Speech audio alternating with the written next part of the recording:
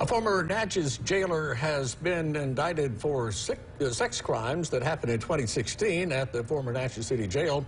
Nicholas Kane is accused of engaging in sexual activity with an inmate. He was released on $25,000 bond.